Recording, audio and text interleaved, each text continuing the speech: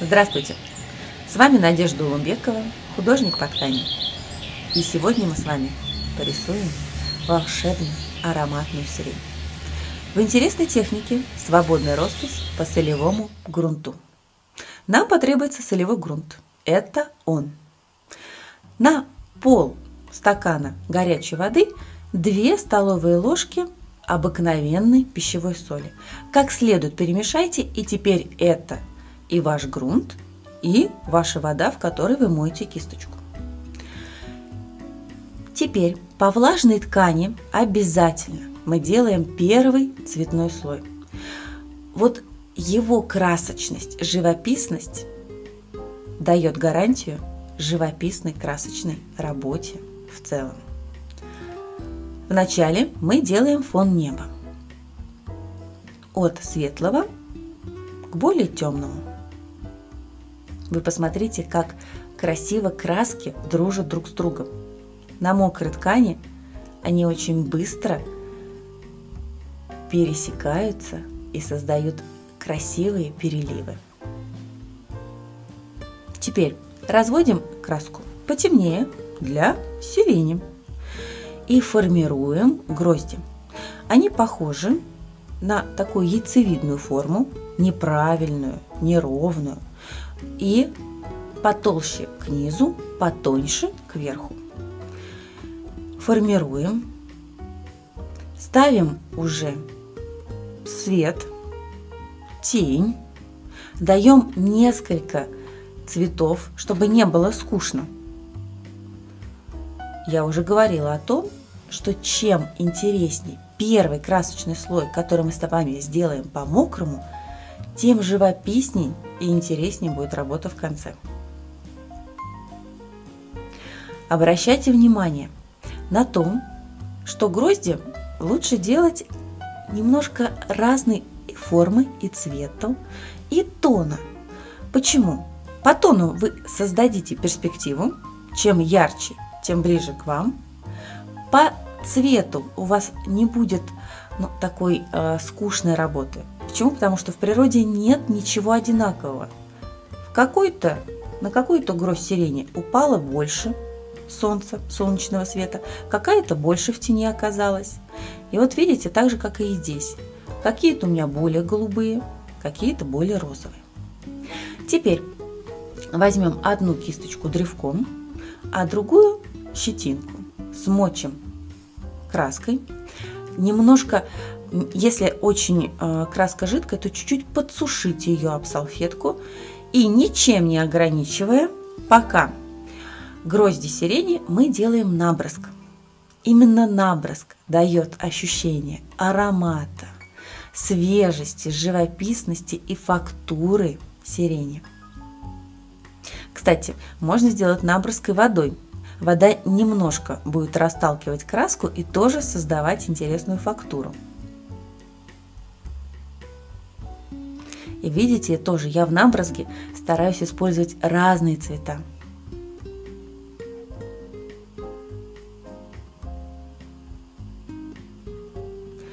Возьмем кисточку поменьше, круглую, синтетику, с тонким кончиком и немножко дадим такие более тонкие прорисовки, которые также дадут нам фактуру сирени, как будто разлетевшиеся цветочки.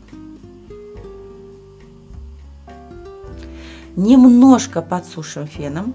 Мне нужна еще влажная ткань, но не сухая. И возьмем текстильную краску. Для чего? Я хочу обозначить светлые места – но хочу, чтобы они еще были живописные. Ведь если я проведу текстильной краской уже по сухому, а она действует как гуашь, то у меня будет а, более графично. Я же хочу, чтобы вот эти блики подружились с нижним цветным слоем. И немножко белила втираю в мой цвет. Видите, какие сразу яркие блики становятся на гроздях. Еще чуть подсушу, чтобы просто затормозить немножко процесс растекания. Но еще ткань влажная. И замешиваю другие цвета, зеленые. И вот так вот движением кисточкой от толстого к тонкому я формирую такие сердцевидные, такие, так похожие на листья сирени.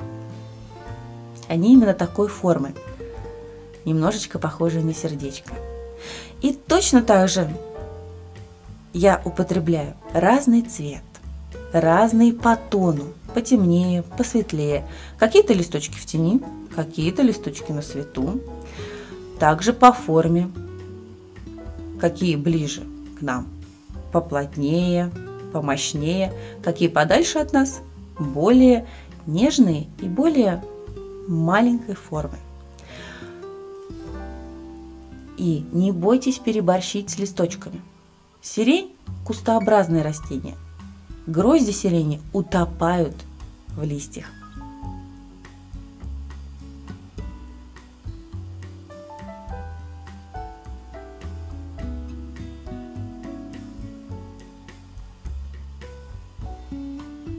Теперь сушим до конца.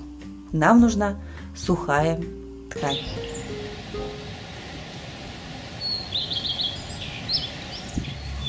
И приступаем следующему процессу – доработкам и эффектам, уже по-сухому. Для начала мы сделаем наброск. Опять возьмем древко и щетинкой, либо зубной щеткой, тоже очень удобно. Сделаем наброск. Его я уже ограничу. Можно для этого использовать любой ограничитель в виде газеты, бумаги, скотча. И вот так ограничиваю растекание попадания набрызга на другой, на фон, на другую гроздь. И вот этим набрызгом я формирую структуру сирени. И смотрите, насколько набрызг не растекается – потому что солевой грунт очень, а, очень хорошо держит краску. Единственное, что старайтесь немножко либо чуть подсушенной краской рисовать, либо ее немножко подсушивать, промакивая через газету, бума, э, через бумажку, салфетку. И теперь тонкой кисточкой формируем отдельные цветочки на грозди. И также формируя цветочки, мы а, даем акценты самой сирени. Рисуя и, подчеркивая ее форму.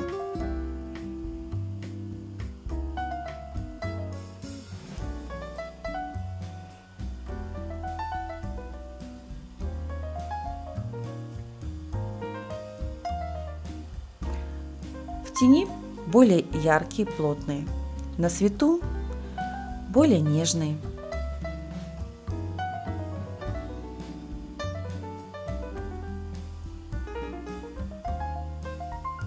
Форма получилась.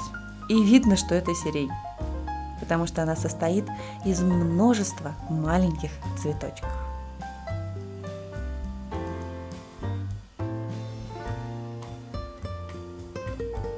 Смотрите, как удобно. Краска не бежит, не растекается. И вы уже спокойно можете рисовать, создавать графику, прорисовку. Также старайтесь делать разные цвета. Хотя вот всю живописность вы уже создали на первом слое. И даже если вы будете рисовать одним цветом, графику, прорисовку, то все равно у вас останется живописная работа. Немножко пускаю цветочков, которые разлетелись от ветра. Также можно текстильной краской сделать небольшие акценты. Теперь разведу уже потемнее зеленую краску и начну прорисовку листочков. Не прорисовываем все. Какие листочки поближе к нам? Да, я им уделю больше внимания, и они будут на нас смотреть, выпирать, будут на первом плане. А какие-то листочки на заднем плане мы дадим совсем-совсем чуть-чуть, либо вообще не будем давать никакой прорисовки. Это нам даст вот эту глубину. На что еще обратить внимание? В батике, так же как и в акварели, работа идет от светлого к темному.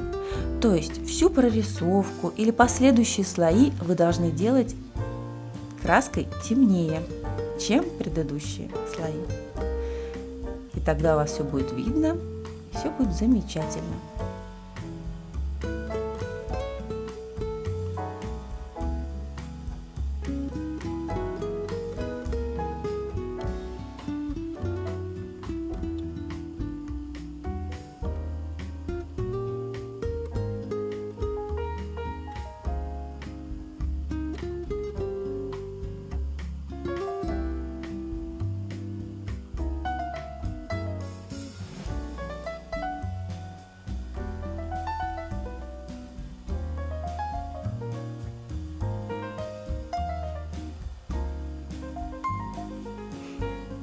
Я для этой работы выбрала хлопок и рисую акриловыми красками, которые закрепляются просто проглаживанием утюгом.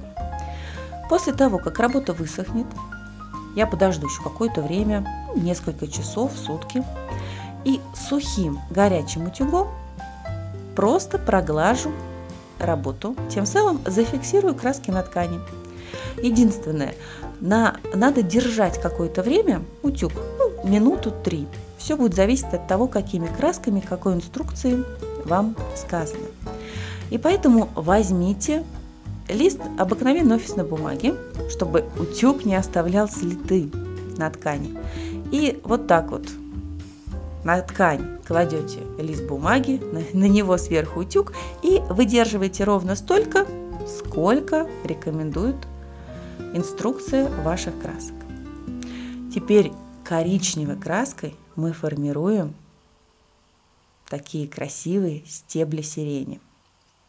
Не делайте их ровными а, и такими похожими на забор. Они всегда мягкие, прерывистые. То есть все время кисточку немножко отпускайте от себя, чтобы она была такая воздушная. И, конечно, ставим подпись. Ваша работа готова. С вами была Надежда Умбекова. Я художник по ткани. Очень люблю живопись на ткани, батик. И хочу делиться этой радостью с вами. Всего хорошего. Удачи!